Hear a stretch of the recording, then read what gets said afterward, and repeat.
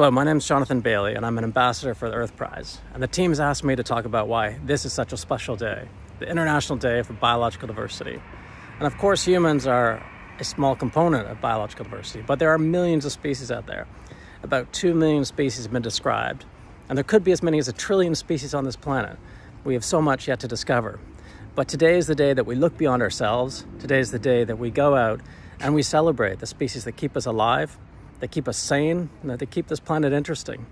So take some time, go outside, and celebrate with me, and also celebrate those individuals, the Earth Prize participants, that are helping ensure this biodiversity exists into the future.